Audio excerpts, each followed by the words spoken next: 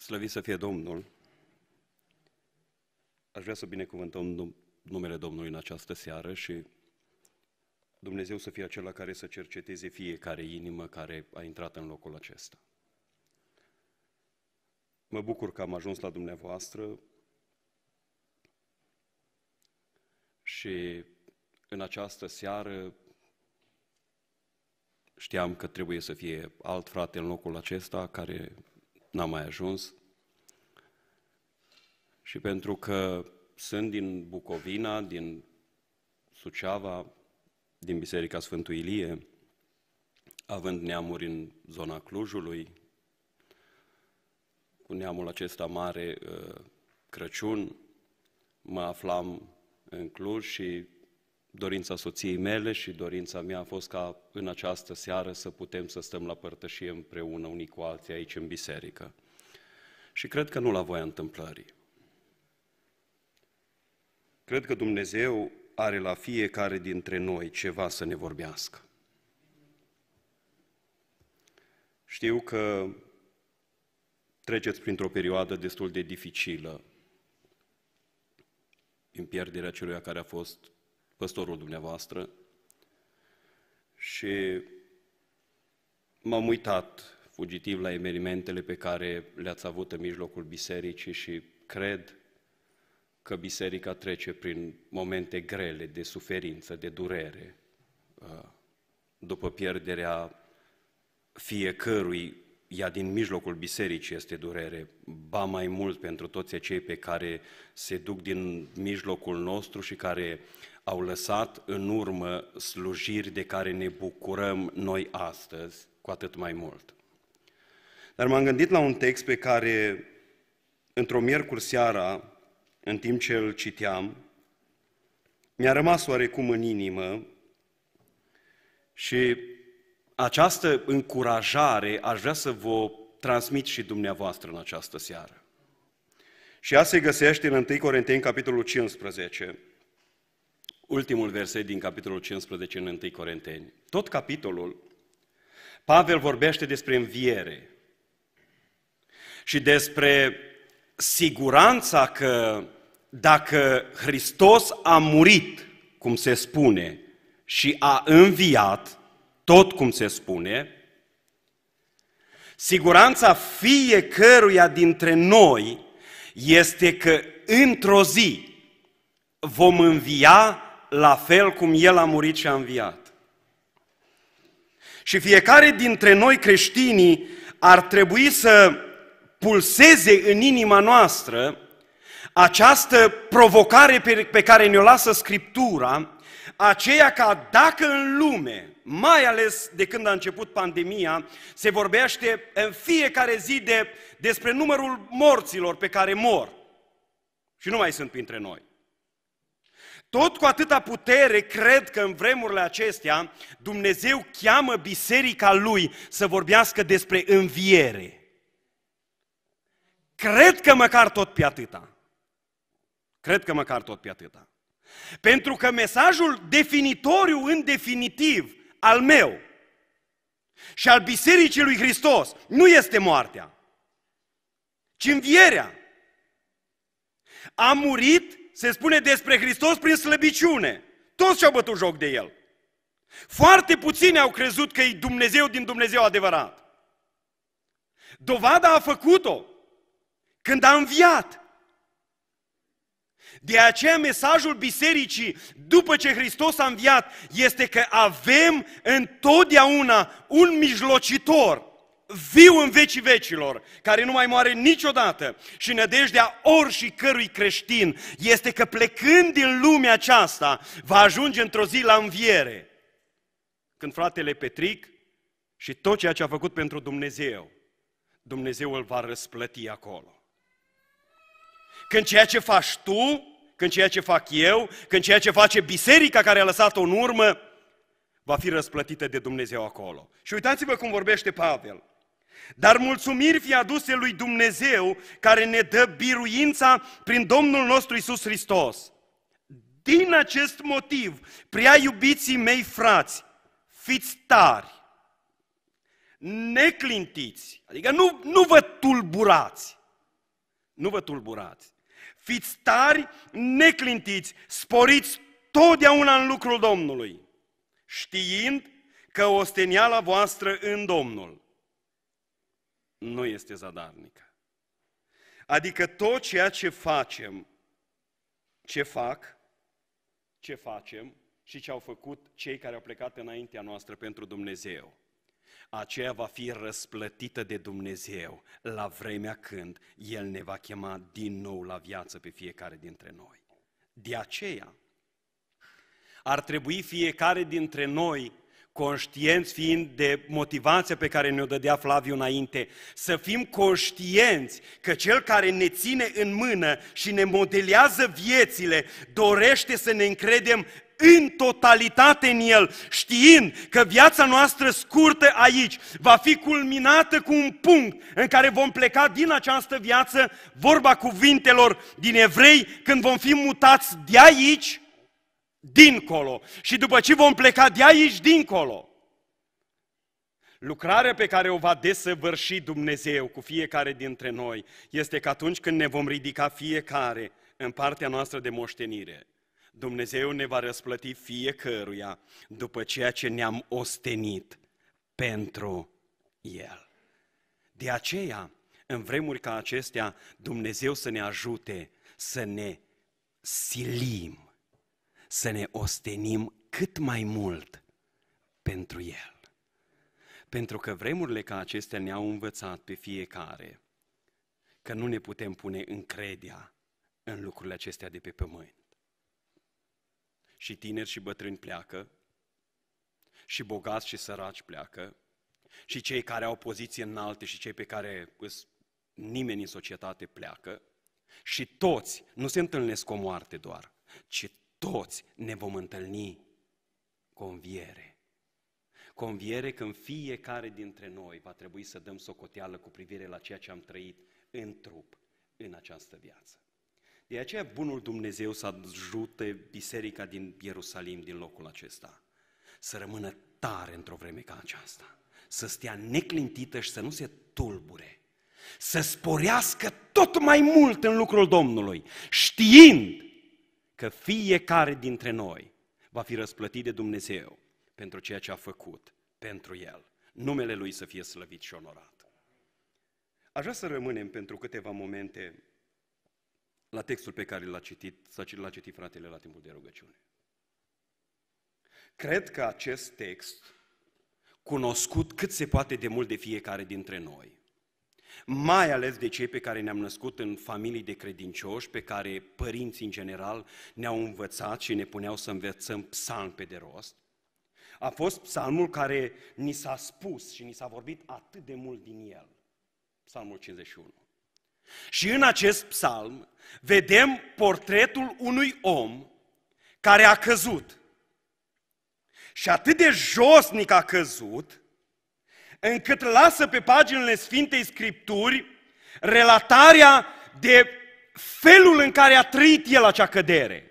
Și cuvintele sunt fără veselie, fără, ves- fără bucurie, mi-ai zdrobit oasele, ți-ai întors fața de la mine, sunt în nelegiuirile mele. Și totuși, în această situație, Cuvântul pe care mi-a rămas atunci când fratele citea acest cuvânt a fost cuvântul pe care îl exclamă el în versetul 6, prima parte a versetului. Dar tu ceri ca adevărul să fie în adâncul inimii mele. Dar tu ceri, Doamne, ca adevărul să fie în adâncul inimii mele. Toată lumea, sau o mare majoritate dintre ei, ne învață cum să fim șmecheri. De când suntem prunci. Cum să știm să manevrăm lucrurile.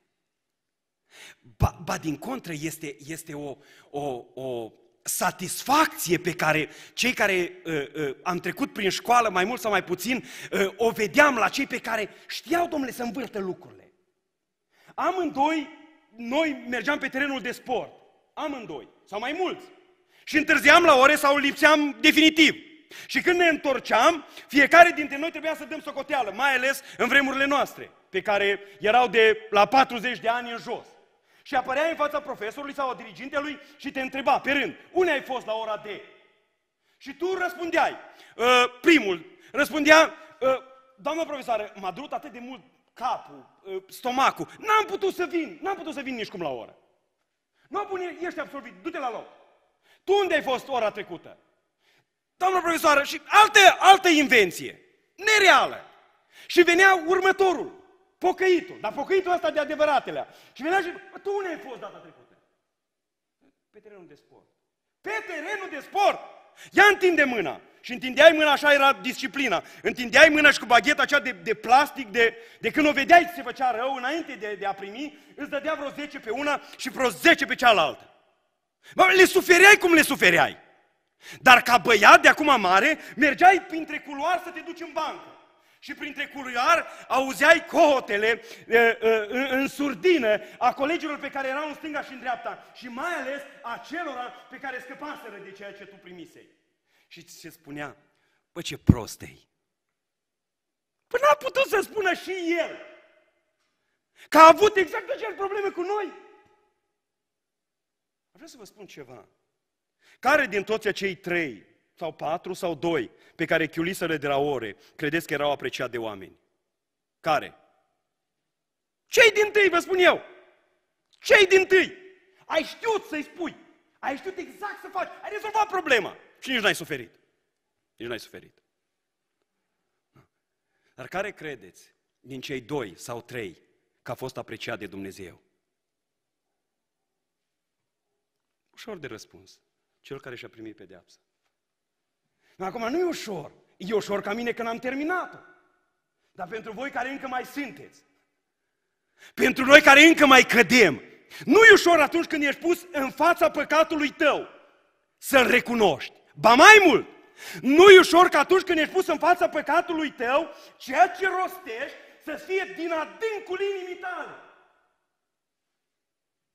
Din adâncul inimii tale.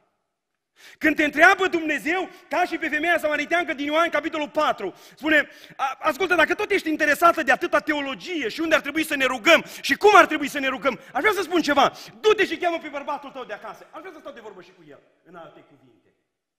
La care femeia se uită la, la, la Hristos și spune, n-am? N-am bărbat. Nu, foarte bine, foarte bine. Pentru că cinci ai avut înainte și acesta care îl ai astăzi, nu-ți, nu-ți este bărbat. Știți ce exclamă Dumnezeu, Hristos, după aceea?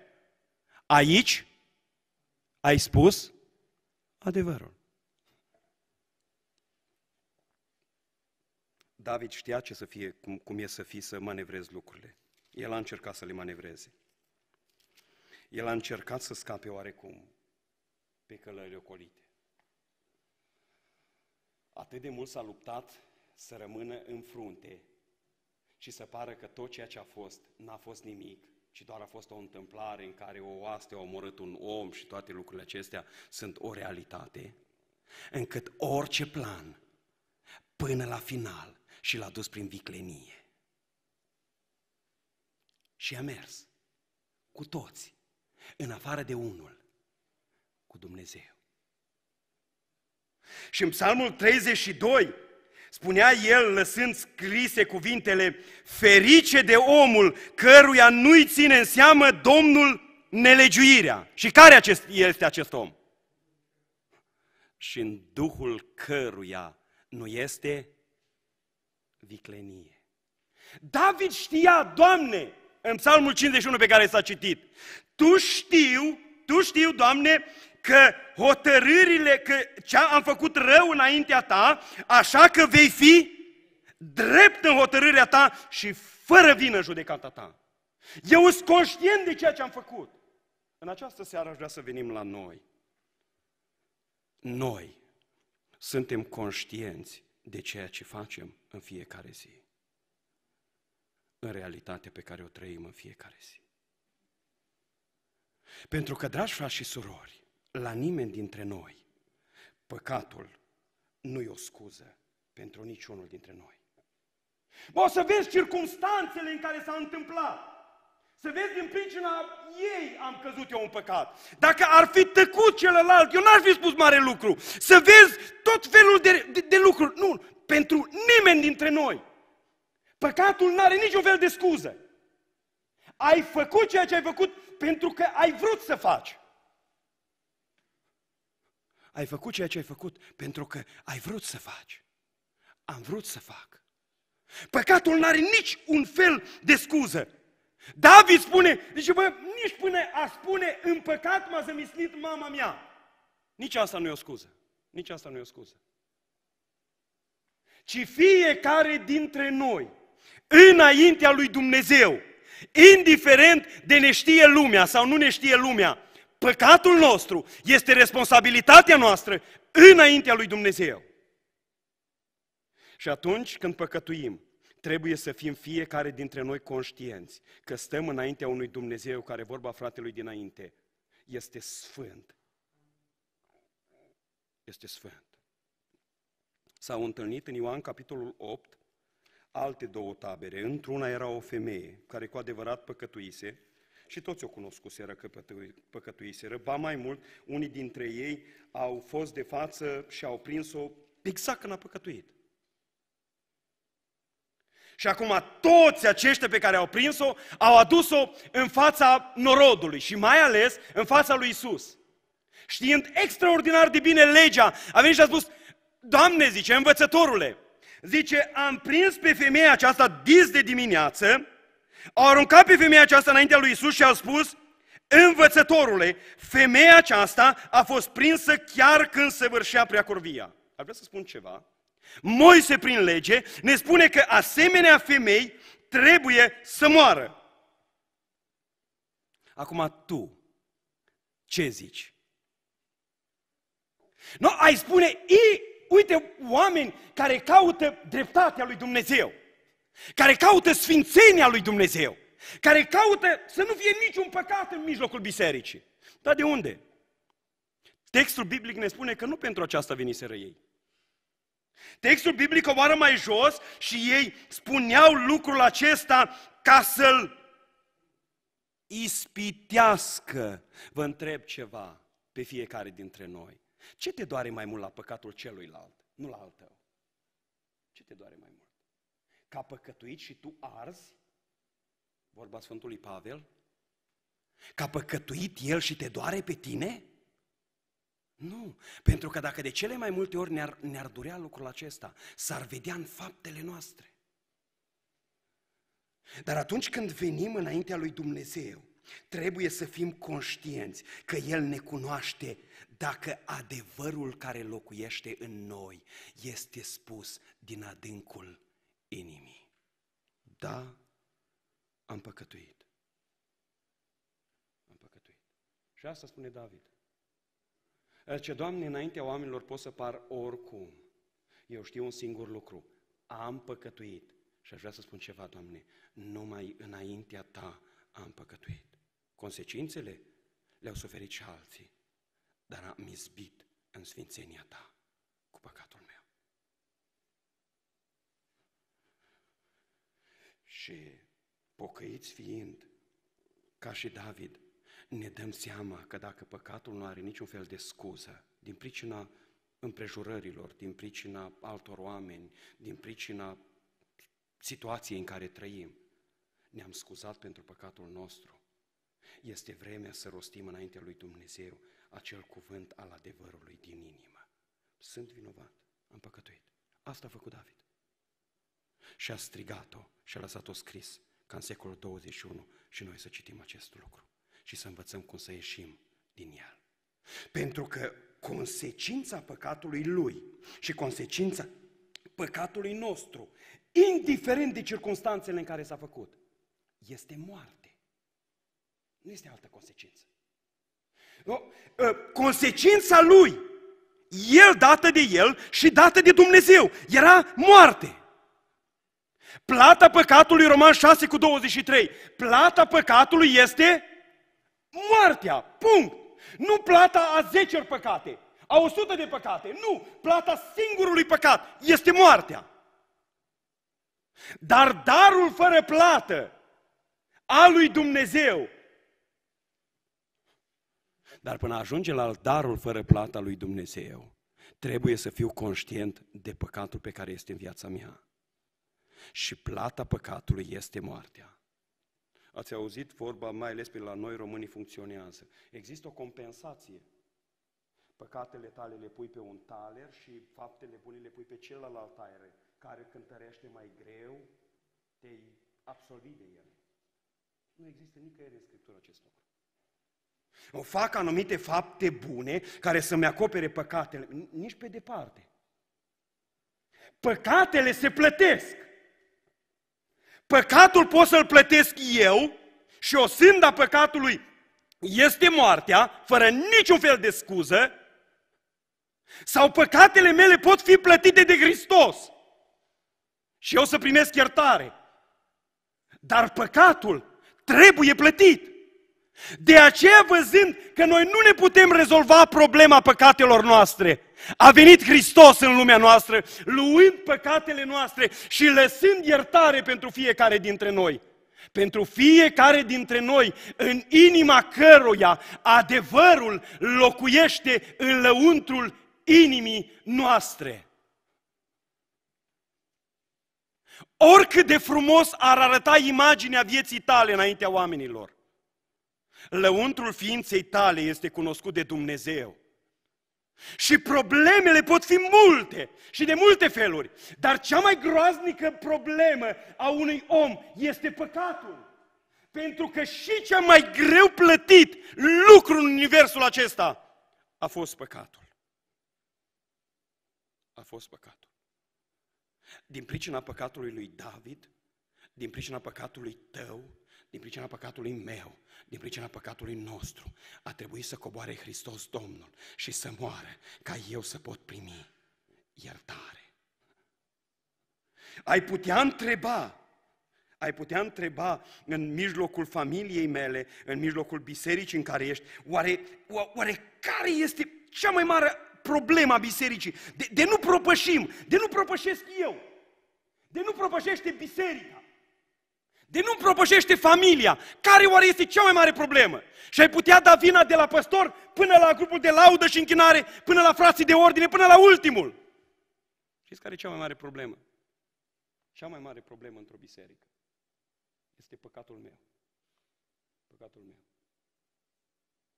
Atunci când poporul se dusese să bată o cetate și Dumnezeu îi spusese să nimicești tot, absolut tot. Iosua dă decretul așa să fie și tot poporul a auzit lucrul acesta.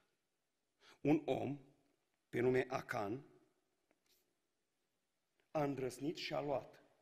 A văzut el ceva, i-a sclipit ochii, a iubit inima și a dus și a ascuns în cort. Merg să bată cetatea Ai și când ajung acolo, ei spuneau cu vreo câteva mii, îi nenorocim, îi mică, trimite, vin rușinați și Iosua se pleacă înaintea lui Dumnezeu, cerând oarecum de la Dumnezeu de ce s-a întâmplat lucrul acesta. Și mă surprinde felul în care Dumnezeu îi vorbește lui Iosua. Domnul a vorbit lui Iosua în Iosua, capitolul 7, cu versetul 10. Și a zis, scoală-te! Pentru ce stai culcat astfel pe fața ta? Israel a păcătuit. Dar nu te-ai fi așteptat să scrie Acan. El e vinovatul. El e vinovatul. De ce tot Israelul trebuie să sufere din pricina lui? De ce? Pentru că problema care aduce rezolvare și propășire în viața mea, în viața unei biserici, și soluția pe care a lăsat-o Dumnezeu singură, fără niciun fel de alternativă, este de a primi iertare în urma păcatelor pe care le-am făcut sau păcatului pe care l-am făcut. Problema nu stă în alții. Problema stă la mine, la noi. să te poți uita în ochii soției și să spui, am păcătuit, uite ce am făcut. Să te poți uita înaintea părinților și să spui, am păcătuit, uite la ce m-am uitat. Să te poți uita ca om, ca frate din comitet sau din biserică, la cel care te conduce și să spui, am păcătuit, uite ce am spus despre tine. Eu am, am întețit bârfa asta despre tine. Eu am spus lucrurile astea despre familia ta. Adu, Doamne, cânta tânărul pe care nu mai este acum, adu, Doamne, acele vremuri din trecut. Când ce? Când fiecare, atunci când ne adunam împreună, era o credință și o dragoste reală, neprefăcută. Încât nu se temeau să spună unul de la cel. Și în care, așa cum erau cu cusururi, cu defecte, se iubeau unii pe alții. Păcatul nu are niciun fel de scuză pentru nimeni dintre noi. Nimeni nu-i vinovat pentru păcatul tău decât tu însuți, decât eu însuți, decât David însuți. În al doilea rând, consecința păcatului e moartea. Nu-l poți compensa, nu se poate acoperi, nu se, nu se poate trece cu vederea. Nu se poate. Ori primesc eu o sândă, murind pentru păcatul meu, ori mă mărturisesc vorba lui Ioan 1 cu 9 înaintea lui Dumnezeu și primesc iertare de la El.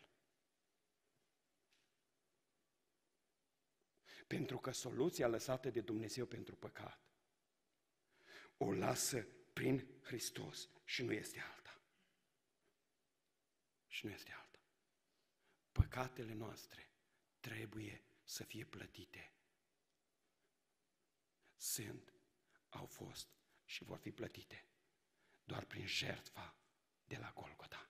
Și atât. Și atât. Chemarea la sfințenie se începe de a avea o inimă în care adevărul să locuiască în ea.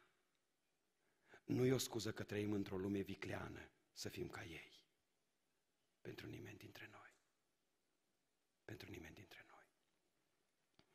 Trăim în era Photoshop, în care fiecare dintre noi putem să arătăm în toată mass media, în toată omenirea, dacă vreți, cât de frumoși suntem, dar noi ne cunoaștem pe dinăuntru.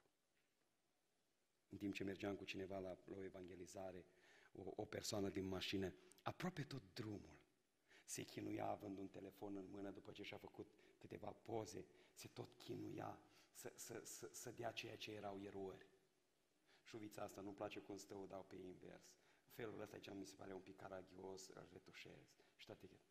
Când arăta, poza era super faină. Numai nu semăna cu persoana pe care și-o făcuse. Sau semăna mai departe. De ce? Pentru că dacă Hristos vede ceva în noi în această după masă, este exact așa cum suntem. Exact așa cum suntem. Exact așa cum suntem. Poate nu știe soția ceea ce face. Să nu te liniștească lucrul ăsta. Poate nu știe părinții ceea ce faci. Să nu te liniștească lucrul ăsta. Poate nu știe biserica ceea ce faci. Să nu te liniștească lucrul acesta tu dinpreună cu mine, dumneavoastră dinpreună cu noi toți, nu vom sta înaintea celuia care bănuiește ce am făcut, ci înaintea celuia care ne știe ce am făcut. Într-o totul, totului, tot.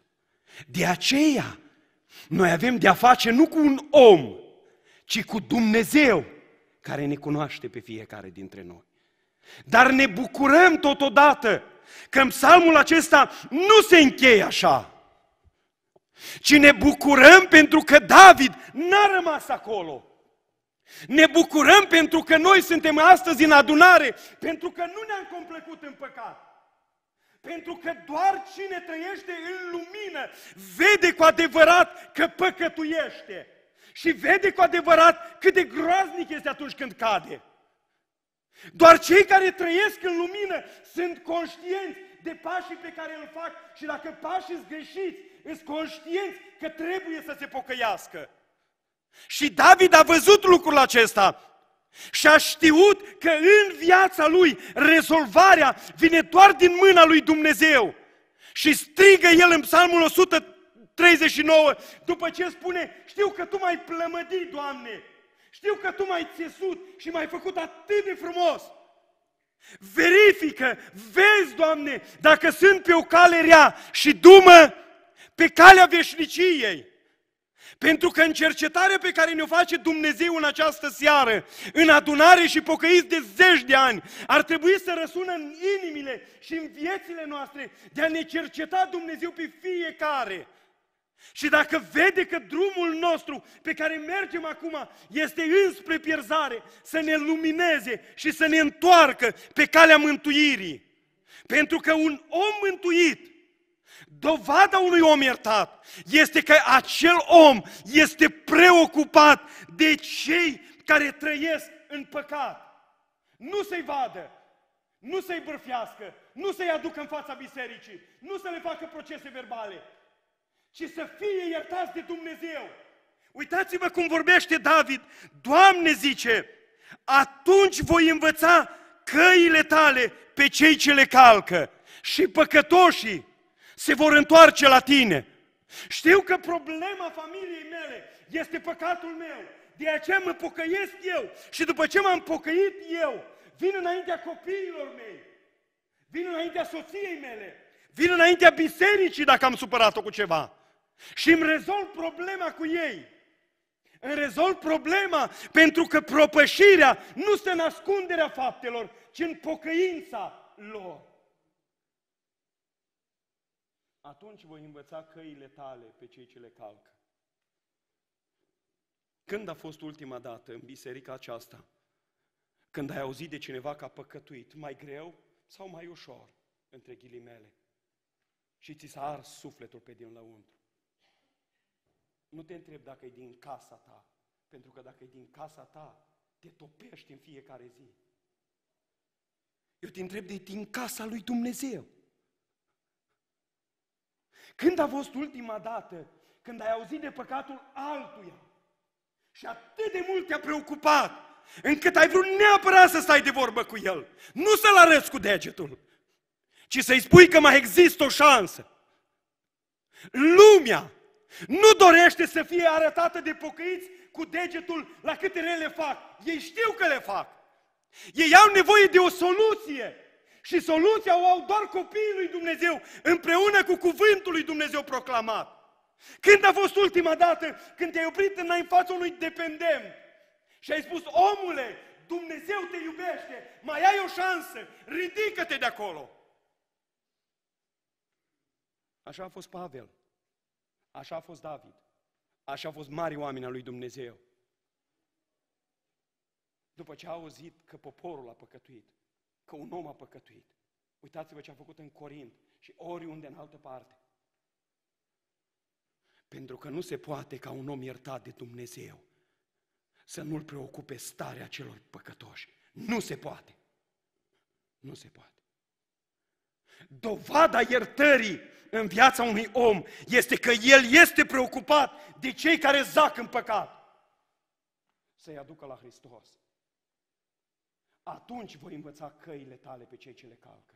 Colegii tăi au nevoie de asemenea mesaj. Vecinii tăi, oamenii care locuiesc în jurul nostru, în disperarea în care sunt cei mai mulți dintre ei și unii dintre ei ajungă să-și pună capăt zilelor pentru ceea ce au făcut, au nevoie de mesajul iertării din partea lui Dumnezeu și el să fie transmis de tine, de tine. Noi, spune Pavel, suntem chemați și avem exact slujba asta de făcut. Să le spunem și să-i rugăm insistent pe oameni la Dumnezeu. Împăcați-vă cu Dumnezeu. Ai uitat că ai slujba asta? Toți ne-am dorit slujbe mărețe de după Amvon încolo. Și uităm să ne o facem pe ce pe care este din fața amvonului până în stradă. Chemarea bisericii în secolul acesta și de când a fost lăsată este să arate lumina lui Dumnezeu și că există o soluție pentru univers, sângele lui Iisus Hristos. Și tu ești chemat să-l spui. Aparent crezi că în lumea în care trăiești boala e problema, COVID-ul e problema. Nu e asta problema, dragul meu. Cea mai mare problemă a fost și va rămâne păcatul în viața unui om. Și adevărul care nu este spus din inimă. Câți dintre dumneavoastră credeți măcar o boabă din ceea ce mai spun politicienii astăzi? Dar nu e mare problema asta. Unii au ajuns să creadă aproape o boabă din ceea ce spun alți păstori, alți lucrători. Pentru că una au spus de aici și alta au făcut afară. Când a fost ultima dată? Când în viața ta l-ai rostit adevărul pe care era înăuntru sufletului tău, așa cum era. Și te-ai dezgolit, recunoscând ceea ce ești și ce ai făcut. Și ducând mesajul acesta și altora. De ce oare? Să ne ascundem păcatele noastre. Când să nu spunem și celorlalți, tânăr drag, și eu am fost dependent de lucrul ăsta. Și Dumnezeu m-a iertat și m-a eliberat. Și am avut problema asta și Dumnezeu m-a ridicat de acolo. Știți ce a spus femeii din Samaria când a spus, oameni buni, am întâlnit pe cineva la fântână, mi-a spus tot ceea ce am făcut. Și a venit cu mulțimea la el. De ce să ascunzi?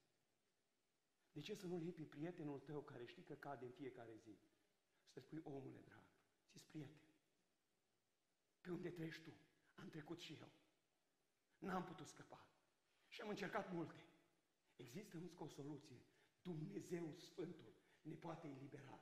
Pe mine m-a eliberat. Eu sunt o dovadă sfântă. Mie îmi pasă de tine. Mie îmi pasă de tine. Mie îmi pasă de tine.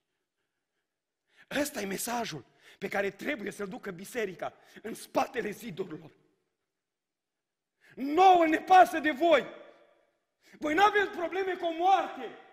Voi aveți probleme cu veșnicie. Voi nu aveți probleme că nu aveți ce plăti datoriile. Voi aveți probleme că într-o zi veți sta în fața unui Dumnezeu sfânt care nu va mai putea face nimic din pricină că atâta timp cât ai fost în lume, nu te-ai împăcat cu El. Tu nu ai o problemă că n-ai trecut un examen. Tu nu ai o problemă că nu ți-ai plătit o rată. Tu nu ai o problemă că ai pierdut nu știu ce lucruri. Tu ai problemă că păcatul din viața ta te va duce într-o zi la moarte veșnică, de nu te pocăiești. Azi. Azi. Pentru că mesajul lui David și mesajul lui Dumnezeu cu privire la fiecare dintre noi este acesta, să învățăm pe cei care calcă poruncile lui Dumnezeu să se întoarcă din nou la El și să primească iertare din mâna lui Dumnezeu și propășire.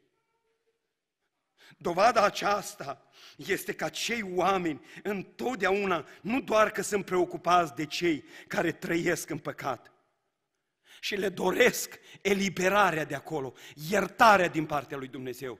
Acei oameni vor fi oamenii care lauda va fi jertfa pe care o vor aduce întotdeauna la adresa lui Dumnezeu. Și cum să nu fie așa? Cum să fie altfel? Când pentru că nu meritai, când pentru că nu aveam niciun fel de merit, Dumnezeu m-a iertat m-a curățit, m-a albit, m-a sfințit și mă așteaptă la El. Cum să nu-mi ridic ochii către El și să-i mulțumesc în fiecare zi pentru acest lucru? Cum? Un om iertat, care are adevărul în adâncul inimii, va fi omul care îl va lăuda din toată inima pe Dumnezeu în orice vreme. În orice vreme în orice vreme. Să vezi, frate, că am problema asta, problema asta, problema asta. Îți va spune cu zâmbetul pe față. Hai să ne apropiem de Dumnezeu. Hai să-L chemăm pe Dumnezeu și să-L lăudăm pe Dumnezeu. Pentru că soluția e la El. Nu e în medicină. Vreți să trecem această perioadă și să rămânem tari neclintiți și să nu ne tulburăm rămânând în picioare? Soluția e la Dumnezeu, nu la oameni. Știți ce spune el, Dumnezeul lui Solomon, în 1 cronici, 2 Cronici, capitolul 7? Dacă poporul peste care este chemat numele meu se va smeri, se va ruga, va căuta fața mea și se va abate de la toate căile lui rele, îi voi ierta păcatul și voi tămădui țara. Vrem să avem o Românie, o Gherla, un Cluj vindecată? Avem nevoie de Dumnezeu toți dinpreună. Toți dinpreună. Toți dinpreună.